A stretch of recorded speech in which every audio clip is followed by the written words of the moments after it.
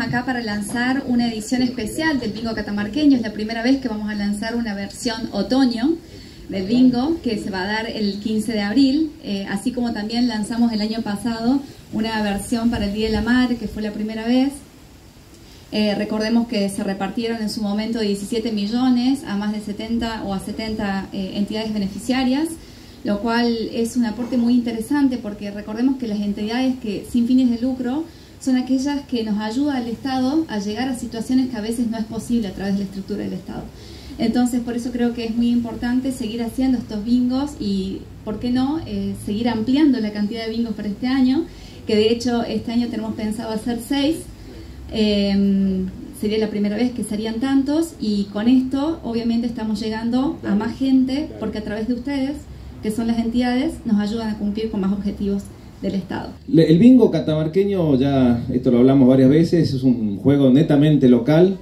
un juego que está muy bien posicionado. Es muy difícil en la industria del juego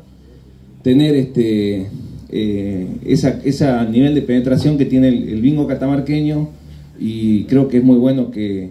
en esta nueva gestión de Capresca le estén dando eh, la intensidad que le dan y que puedan replicarlo en, momentos diferentes al, tradicional de fin de año.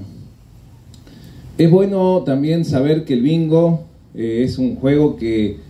todo lo que recauda lo distribuye. No hay ninguna intención de acumular este, dinero con la realización del juego, sino que tiene el objetivo claro de distribuir el 100% de lo que recauda en estas instituciones beneficiarias que hoy le va a tocar a ustedes, pero en otro momento fueron otras y vendrán otras. Quiero destacar que por eso tengo, me han dado el uso de la palabra. En esta oportunidad el bingo va a tener una especial atención sobre las cooperadoras escolares. El gobernador eh, el año pasado nos pidió que del ministerio coordinemos una, un sistema de gobernanza en las escuelas que incluya la formación de cooperadoras escolares. Llevamos formadas desde noviembre 240 cooperadoras escolares desde el ministerio y esas cooperadoras van a tener un empoderamiento dentro de los eh, colegios, están teniendo, que van a participar del gobierno del colegio con un montón de situaciones que están, este, superan a lo que son los directivos de la escuela, mantenimiento edilicio, actividades extra programáticas, que estamos realizando pruebas piloto, hemos estado pintando una escuela el fin de semana pasado, y ya en la anterior oportunidad que se realizó el bingo se dieron unos cartones a un grupo de cooperadores y anduvo muy bien esa experiencia. Yo le agradezco muchísimo a la gente de la caja, señora ministra, que le den una oportunidad ahora realmente que quede institucionalizado, que este va a ser un bingo que va a tener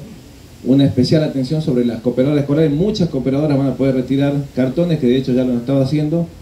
y van a poder fondearse con, con los fondos del bingo y poder realizar actividades en la escuela dirigidas por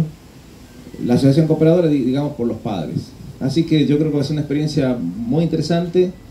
y que está ayudando a que pueda llevarse adelante. Así que yo quiero agradecerle muchísimo,